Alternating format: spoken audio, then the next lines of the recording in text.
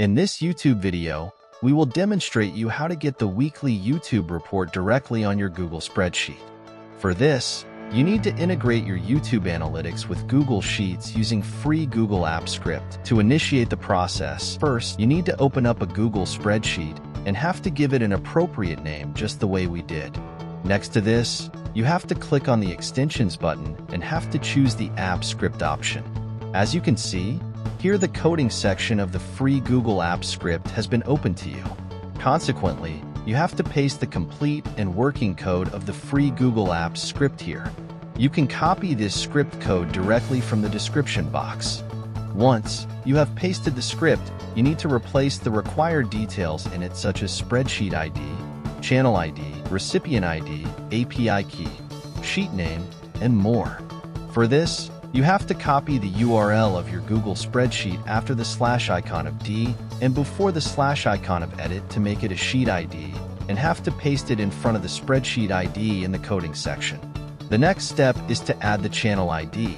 For this, you have to go to your YouTube channel and have to move towards the advanced settings section of your YouTube channel setting dashboard.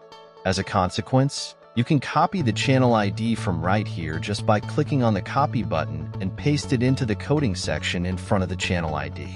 Once you have pasted the channel ID, then you have to put the desirable email ID in front of the recipient ID on which you will be updated about the status. You are allowed to add one or more than one email address there just by putting the commas in between them.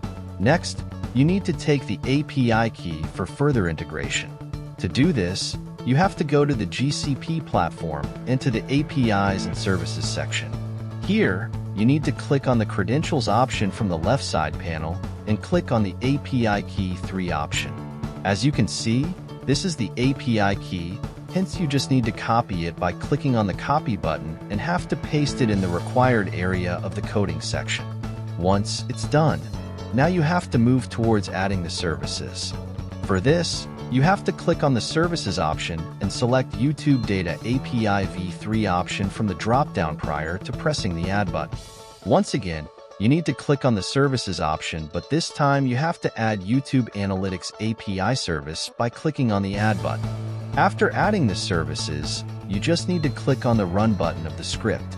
As you will click on the Run button, it will ask you to authorize the permission. Hence, you just need to click on the Review Permissions, select a valid email address, and click on the Continue button before finally clicking on the Allow button.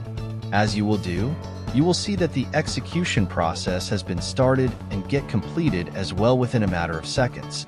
Once the execution has been completed, we will come back to our spreadsheet and refresh it once. Just by refreshing the sheet, you will see that the header section has been updated in the sheet such as videos, shorts, total subscribers, and more. For further procedure, you need to come back to your free Google Apps script code have to add the triggers. For this, you need to click on the triggers option showing next to the alarm icon. From here, you have to select the Get Weekly Status option from the function dropdown, header from deployment, time driven from event source, minutes timer from time based, every minute from minute interval, and notify me daily from notification before clicking on the Save button. Here the status of the YouTube channel will be updated every minute in your sheet and on the email ID since we have set the minutes timer function in time-based trigger, but to have the weekly update, you need to choose the week timer option in your time-based function. As trigger has been added for the get weekly status function, hence you have to change the function of the script as well from on open to get weekly status. Once you have changed the function hints, you also need to run the script again by clicking on the Run button.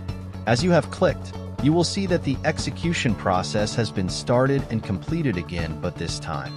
It will give you the status such as the total number of columns, the number of rows in which the status has been filed, and the text for weekly status has been updated successfully.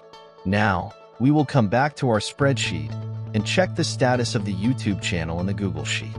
As you can see that sheet has not been updated yet. The reason behind it was that we had taken the other sheet's ID in the code of our app script.